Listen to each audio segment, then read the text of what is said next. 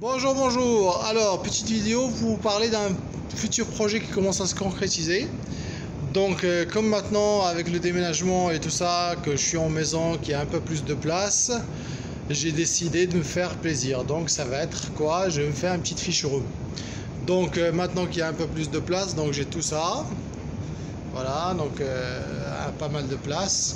J'ai décidé de me faire une fiche room, donc qui va commencer avec ce bac. Donc ça c'est le premier bac, 150 x 60, 54 de haut. En fin de semaine, je vais aller, j'ai trouvé un sur internet, exactement le même, le même meuble et tout. Donc je vais le chercher vendredi. Donc ce que je vais faire, je vais me faire un rack. Je vais m'acheter un rack euh, qui supporte du gros poids. Trois étages, donc je vais mettre celui-là en bas, l'autre au milieu. Et en haut, je vais mettre, euh, je pense, trois petits bacs qui font 50 de façade, 60 de profondeur et 45 de haut. À peu près la même chose, divisé en trois parties.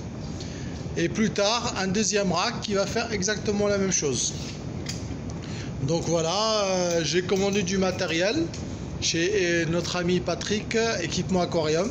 Magasin super sympa, super sérieux, prix très intéressant que je vous conseille. Donc j'ai commandé une pompe, euh, j'ai commandé des exhausteurs je veux dire. Donc ce que je vais faire, je vais tout passer par, sur air. Donc ce sera tout filtré par exhausteur. Donc je commande des exhausteurs, j'ai commandé des robinets et tout ça. J'ai une pompe qui est déjà là de 1800 litres et j'ai acheté une pompe de 4200.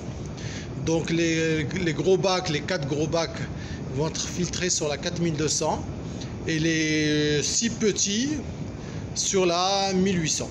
Donc euh, tout sur filtre exhausteur. Les petits vont être filtrés avec ce type de exhausteur, cette taille-là. Donc, euh, et les grosses, j'ai pris des filtres XXL. Donc euh, ce sera deux filtres par, par bac. Excusez-moi le bazar, mais voilà, le garage, il est encore le bordel. J'ai pas tout rangé. Comme ça fait pas longtemps qu'on a déménagé, ça fait un mois, donc il y avait plein de choses à faire. J'ai encore des travaux à finir. Donc voilà, pas tout fini. Donc je vais juste vous montrer la filtration par exhausteur, ce que ça donne. Regardez. Voilà.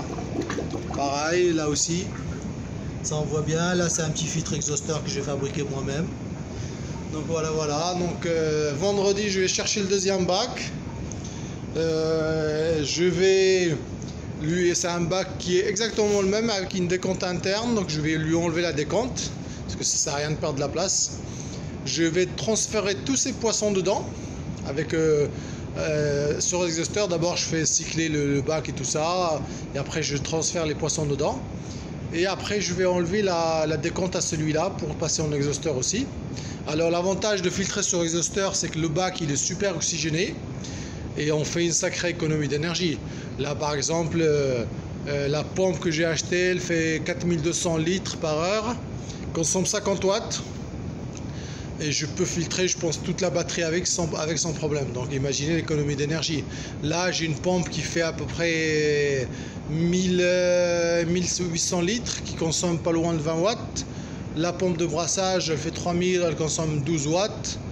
Donc déjà rien que pour un bac, on est à 32 watts.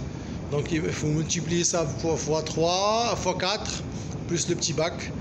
Bah là, 50 litres, 50 euh, watts je veux dire, ça va filtrer tout le, tout le bazar quoi. Donc doucement, doucement, un petit, euh, donc deux bacs déjà pas mal. Je suis content d'avoir trouvé exactement le même parce que j'aime bien ces bacs qui font 60 profondeur, c'est pas mal. Et après je regarde si j'en trouve d'autres sur le bon coin. Sinon je regardais, je vais me les faire, euh, je vais les acheter. Je trouvais un site allemand qui fait presque les mêmes, 52 euros au lieu de 54 et à des prix super intéressants. Voilà. Je vous tiens au courant. Allez à bientôt, ciao.